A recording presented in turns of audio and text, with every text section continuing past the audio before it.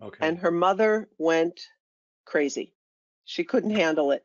We judge the adequacy of what we have in comparison to others. And you can say it's a moral failing, but it's not. It's just basic human behavior. Hey guys, thank you everyone. We're actually quite privileged and honored today to have Juliet Schor. She's an economist and she's also the professor of sociology at Boston College. And she's also a famous writer. Uh, her classic book, The Overspent American and The Overworked American. Actually, we're going to talk also about our most, most recent book, um, the After the Gig. Um, but actually, one of the reasons why I want to talk to you, Juliet, and thank you very much for giving me this opportunity. Uh, when I told my friend uh, true story, by the way. I told my friend that I was going to interview you, and I told I told my friend what your book was about. The first one, the Overspent American. He said to me, Alessio, I like her already. So, so I want to ask you, Juliet, for people who haven't read your book, I mean, I mean the first uh, the first two. So I, I really want to. I'm talking about the Overspent American because that's the one I really found interesting. Could you just explain for everyone in a nutshell why the, the central message of your book? Uh, in other words, why what, what was the most important message from that book that people can gain? Why is it that people spend so much money on things they don't need? They don't save any money, and you know, uh, I guess most people are just broke most of the time. Yeah. So there are two parts to the work that I've done on this. One is the work, mm. the working side, and the other is the spending side. And I'll start with the spending because you asked about that first. Sure. So the the sort of bottom line of an answer is that we spend to social expectations, and there are tremendous pressures on people to move with everybody else. And so what happens is that people adjust their sense of what is normal, what they really have to have, you know, what what's kind of expected by the people who are around them, either in real life or one of the things I showed in this book was uh, for people who watch a lot of television or now are involved in a lot of social media, the friends that they have online um, can also influence their spending. And so it's there's really a kind of defensive dimension to it in which it's not that we're we're what used to be called in America, you know, trying to keep up with the Joneses so much. We're not trying to get ahead of the Joneses so much as to just keep up. And I think that keeping up process is really key. So one of the, I, I found there two things in my research from that period that I think, you know, may be worth mentioning now because I think they're still important.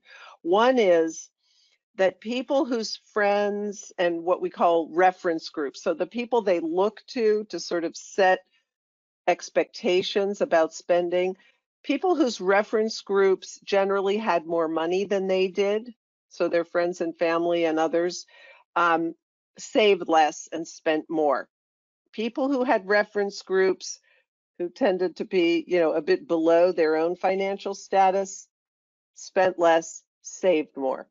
Hmm. So the whole idea is that it really depends on who's around you and yeah. that we're we're really social beings when it comes to understanding spending. Now, this is a radical departure from the way economists think about it because for economists we're all individuals and our own preferences are not affected by other people.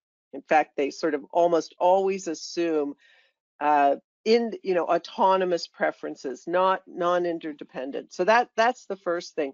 And the second is that that process changes with social changes. And what I argued was that beginning in the 1980s, so that book came out in the 90s, so it, it's yeah. a bit dated now, but it, it's just as relevant now. Beginning in the, the 80s, as the income distribution started getting more and more unequal, people were more likely to look higher up in the distribution.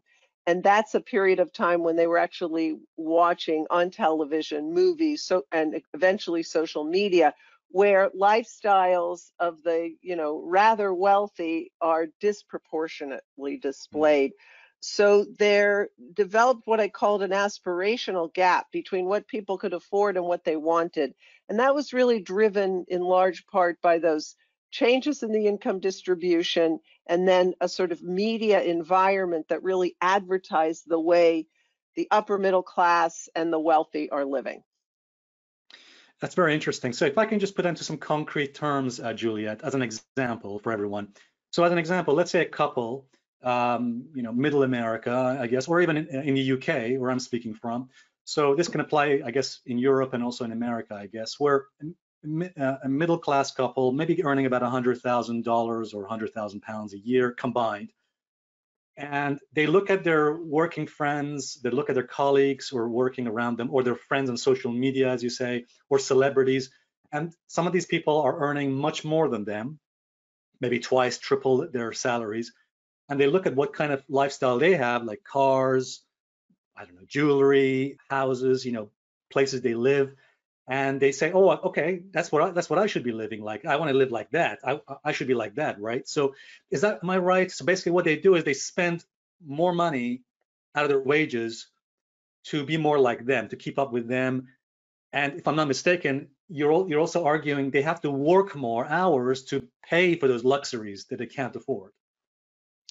That's true too. And I there, hmm. there yes. Let me just start with the spending side. So that's absolutely right.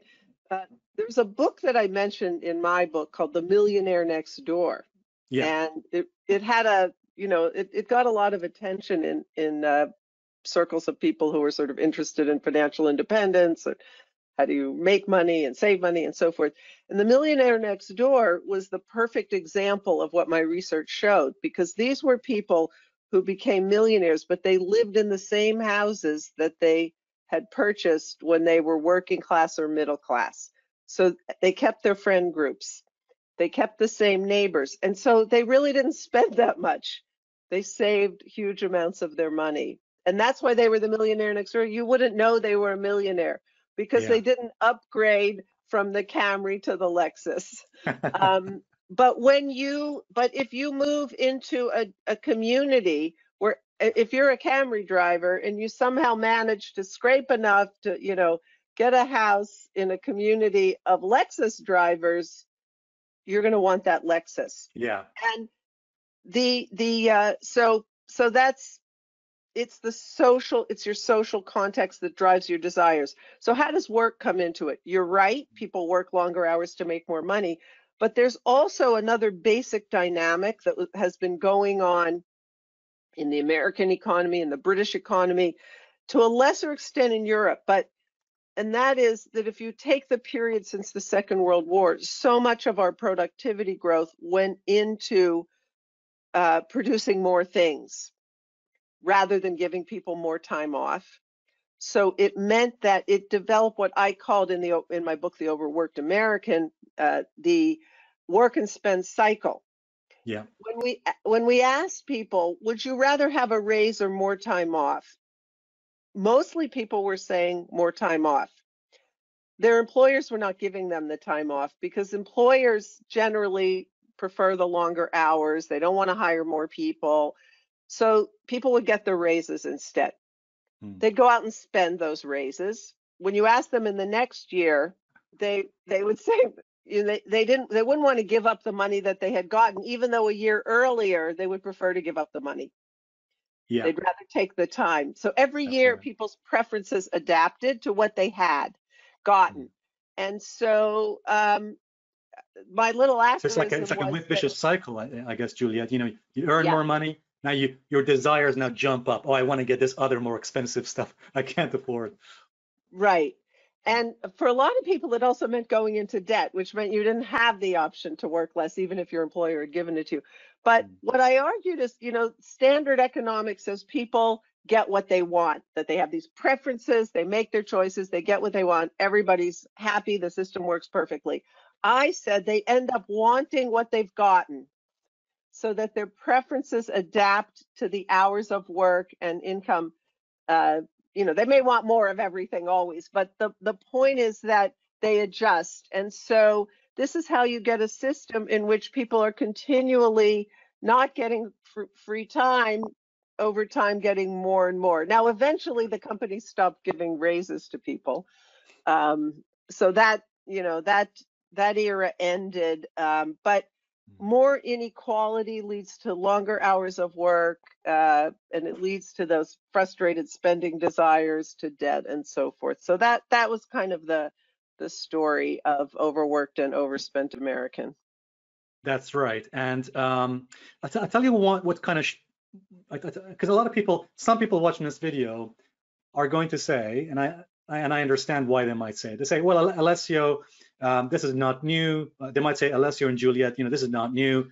Uh, we knew this. Of course, people are going to do this. But I think that's not correct. You're actually saying something very important here, which I think may, people may may have missed. And, I, and correct me if I'm wrong here. I think what you're saying is, okay, so, so let me just break it down. Some people on the left, politically left, they might they are, they usually say, well, the reason why people live in po poverty and why the reason why people can't afford things it's not because it's their fault. It's just because they know you know an unfair, an unequal system uh, politically, and uh, just people are the system is rigged against them, and people are not earning enough. So we need to have a more distribution of wealth. I guess is more on the left argument. You know, um, tax the, tax the rich more and spend more on on the, on the poor and the middle class. That's that's one argument the left makes, and and then you have the right, uh, polit political right, who say, well, um, no, it's, it's not. It's not uh, government. It's, it's, not. It's not corporations' fault. It's the individual's fault. Everyone has a responsibility to spend. They want. You know, they, they're responsible for their own lives. They should spend. They should save more money. And I'll give you an example of this, Juliet. Every time I read Wall Street Journal or I read Market Watch, they're continuously every week. They, I remember every week they used to mock and ridicule middle class people for not saving enough money. But they, they never actually explained, like you have, the reasons, the causes of why people are not spending enough money.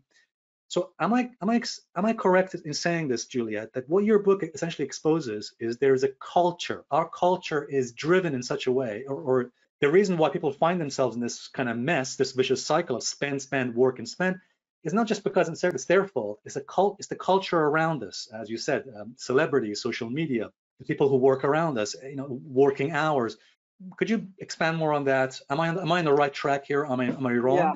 Yeah. No, absolutely. It's a really important point because for the for the right, consumption is all about a mora, mora, individual morality, and when you know the the they blame every downturn on the uh, on immor immoral behavior by individuals. They took on too many mortgage commitments. They have too many credit card debts, and so on and so forth. And they fail to understand that if if you want to explain why people do what they do when it comes to consumption, you have to understand that it's profoundly, as you say, cultural and social. And it the structure of the society, and in, in, for this issue, its structures of inequality especially are really important for understanding. So in in more equal societies people save more. In more unequal societies they save less. It's not just about some individual uh, thing. So here's an example i like to use to, to so to, uh, which has to do with how we understand uh, a particular consumer item or let's just talk about a house. Yeah. and i'll personalize it because i had a, a one of my students years ago I was working on these issues with her. This was when I was teaching at Harvard. And she told me a story about her family, which was they lived on a street in a, a suburb right outside of Washington, D.C., that had built had been built at a time when most of the houses were pretty small. Her house was the biggest house on the street. I mean, it wasn't that much bigger than the other ones, but it was a bit bigger and her mother especially was so proud of her house because she could lord it over. She was bigger than all the houses around her. This was a period of time in which real estate values were going up a lot, land values rising, people came, were coming in. They were buying these little houses, tearing them down and building big houses. And somebody came in and bought the house next to hers and uh, proceeded, you know, to tear it down and build a house bigger than my student's family's house. Okay. And her mother went crazy. She couldn't handle it. she spent years trying to, you know, going to court, the government trying to stop these people. But that house coming next to hers made hers smaller because oh, it was okay. all about the relative position because the value of the house to her was not so much what the house was itself. Her house hadn't changed at all, but suddenly her house wasn't adequate. because what we think what is adequate for us is always in relationship to what other people have we call it relative income or relative consumption and there's a lot of evidence that's that you know what i said earlier that you know people's reference groups affect how much they spend and save that's the basis of it because we judge the adequacy of what we have in comparison to others and you can say it's a moral failing but it's not it's just basic human behavior. Yeah. Um, you know, yeah, we're kind of human, like everybody else. Yeah. So that's what's really key. And so when we have a culture, as you said, which is sort of pushing certain kinds of behaviors it, it, or expectations, it, it spreads and it spreads either on media, it spreads through interpersonal connections, etc. So as a society, we need to pay attention to, to what what we are what our culture is doing in terms of things like consumption. This is why many cultures in the pre-modern era have something called the evil eye, which is uh, mm. restrictions on people showing off too much. Oh, this right. idea that if you show yeah. off too much, bad things are going to happen to you. Yeah. But it was a very um, functional way of keeping a, a little bit of a lid on on sort of too much ostentation, too much the term I use is competitive consumption. If yes. you have too much competitive consumption, you get really bad social outcomes because everybody's just running harder and harder to keep up and we're all pretty much just staying in place. And that's where the working stuff comes into it because we actually have to work longer and longer and longer or take on more and more debt to keep up. Is competitive consumption different from consumerism, from this culture of consumerism? Is that a different thing or is it similar? competitive consumption? well, consumerism to me is the belief that sort of consumption makes you happy. It's a kind of ideology. It's mm-hmm. You know it's it's the idea that this is the purpose of uh, of your life or this is what a society should be organized around, mm-hmm. etc. Competitive consumption is the dynamic which uh, drives consumer uh, behaviors. And what's really key for understanding how much competitive consumption you have or the form that it takes are things like how unequal is the distribution of income and wealth? What is the media landscape?